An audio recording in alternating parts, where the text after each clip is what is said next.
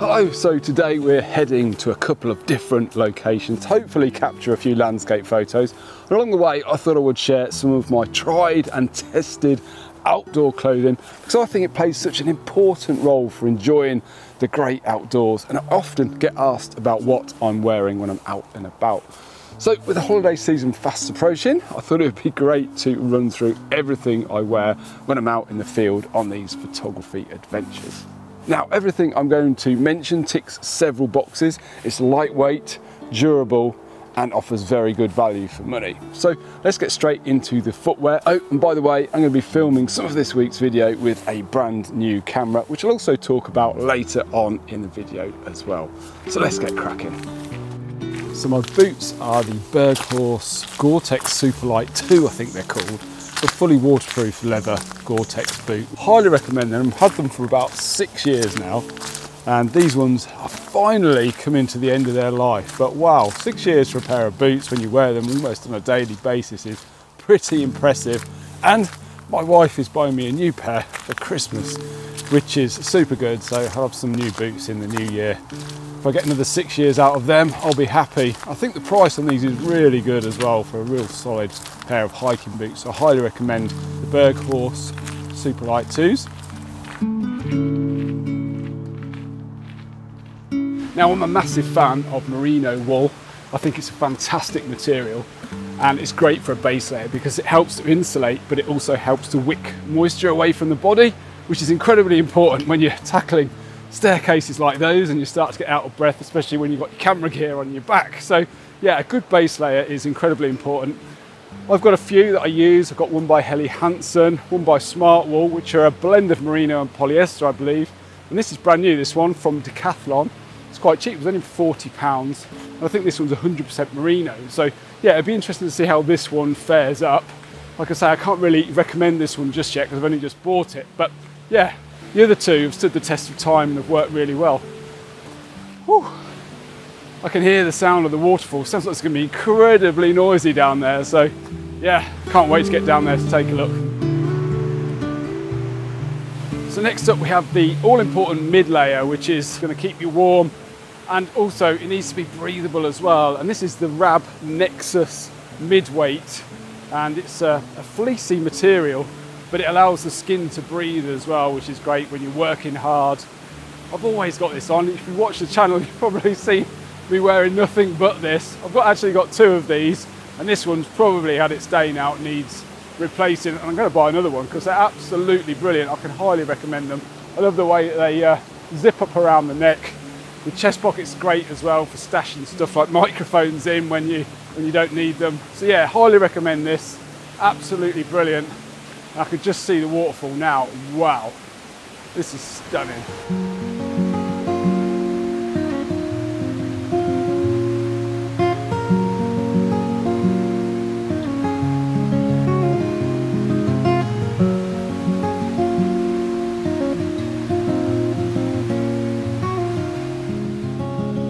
So I've just abandoned trying to photograph the waterfall. Absolutely chucking it down and the wind's coming straight from the waterfall towards the camera. Everything is absolutely soaked. There's no way you could take a photo there. The second you expose the lens to uh, the elements, it just gets completely soaked. So I think we might go a bit further downstream, see if we can find something different. Just getting this briefly dried off. Might be a good time to talk about waterproofs. You never know when the heavens are going to open on you, do you? Wow, that was intense. I'm not too disheartened about abandoning the waterfall there. It's a good opportunity for me to have a little look further downstream and maybe come back to it later. Seems to have eased off a little bit now as well. But it's probably a good time to talk about waterproofs. Now, these waterproofs never leave my bag, which is super important. They're always there should I need them. Now this jacket here I've got is uh, pretty much brand new. But I have owned this jacket in the past, about four or five years ago, and it was the best waterproof jacket I'd ever owned. Unfortunately, I ripped it on barbed wire and decided to replace it with a different brand, you know, try a few different brands, and nothing has come close to it, to be honest. So this time round, I've decided to reinvest and go for another Marmot minimalist yes, I highly recommend this jacket. It's Gore-Tex, super waterproof, very breathable, and yes, just an all-round good hiking and backpacking jacket. Now on the bottom half, the trousers are the Rab Pertex Shield waterproof trousers, which again, I highly recommend. I've had these for three years now, I think, maybe four. And yeah, they haven't let me down. They're very, very light, which is great. And you don't really feel like you've got them on, which is always a good thing. I just leave these in the bottom of my pack and they're always there for me should we get torrential downpour such as that. But yeah, wow, this place is absolutely beautiful. Incredible. Oh, I'm out of breath as well. Right, let's get on up the trail, see if we can find something else. And maybe I need to take off my mid layer because I'm starting to sweat.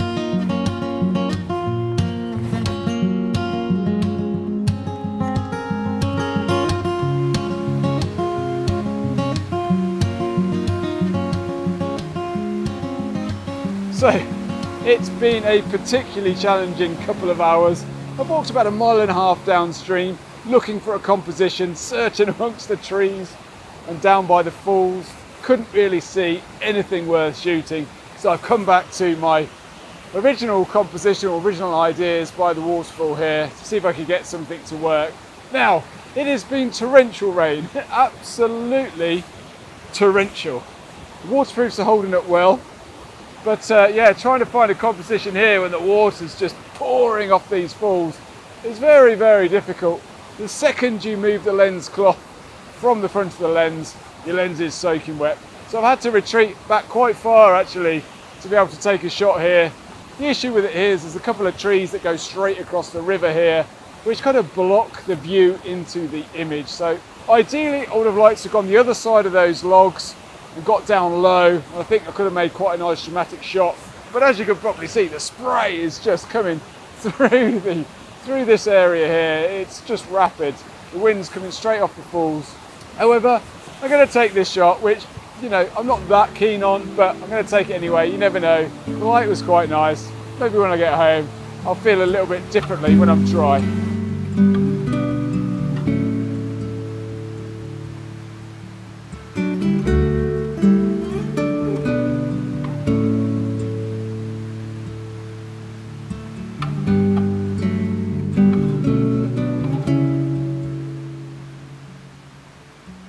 Oh, good morning and welcome to day two of this week's adventure. I'm going to get straight into it again, talking about the gear and one of my favourite pieces of outdoor clothing that I have, which is this the Rab Alpine Microlight down jacket. And I love it because it packs down to such a small size and it weighs hardly anything, which is great, which is why it's always in my pack apart from obviously those hot summer months and it's absolutely brilliant this is five years old now and it's as good as the day that I bought it Let's put it on.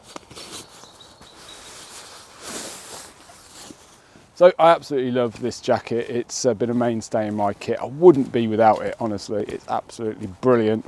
It's got a Pertex shield, which means it's windproof as well, which is always good when you're out and about, but it's not waterproof. So you really need a waterproof shell if you're gonna wear a down jacket. As soon as down gets saturated, it's useless basically.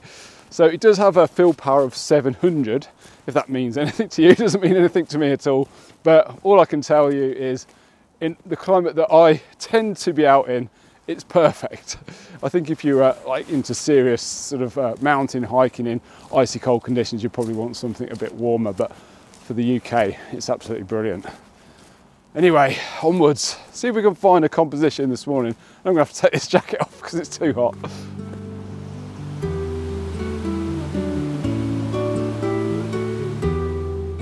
So having pre-visualized the shot I want to get, this branch here is quite close to the camera, so I'm having to use an aperture of f10. Now I want to try and freeze any motion in this shot as well, so that's kind of what I'm thinking to start with. Sort of about the branches leading the eye down to the stream at the bottom. The stream's not really a prominent part of the image. I think it leads the eye down to this colourful beech sapling here, which is probably a better uh, viewpoint for the eye to be drawn to. But don't know whether I'm going to use a polarizer or not, but I'm thinking it might saturate the scene. So that's what I'm doing. Yeah, it does have quite a good effect actually. Sometimes the polarizer doesn't have a huge effect if the light's coming straight towards you, but yeah, we definitely get a bit more of a saturated colour, less reflections in the foliage. Obviously the downside to that means I've got to raise my ISO because this blocks about a stop of light, something like that. At the minute I'm half a second. Actually there's no wind right now, so I'm going to focus on the trunk and that gets this nearest branch sharp, or sharp enough anyway. I'm going to grab this image now. So F10, half a second, haven't got a problem with the wind, that gets nice, everything nice and sharp. The polarizer is on, two second timer. It's all about the early signs of autumn.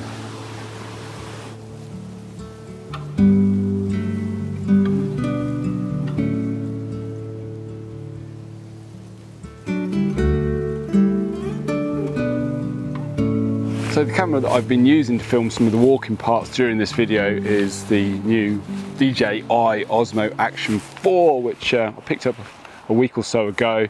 And yeah, just basically been testing it out to see if it'd be you know, feasible to use it for some of the kind of walking, talking shots.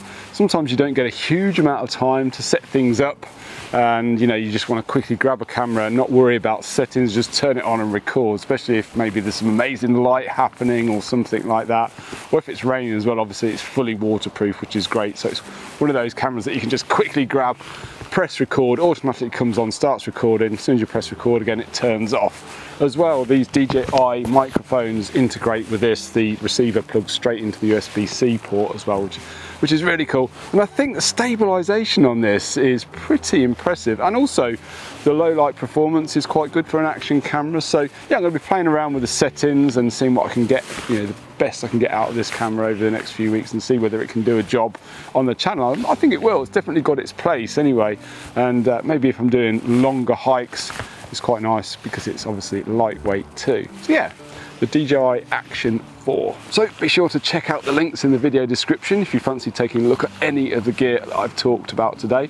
The video up here will take you to a video all about wide angle photography, which is well worth a look. And if you enjoyed this video, please be sure to give it a like because that really does help me out. And why not consider subscribing for more weekly content like this.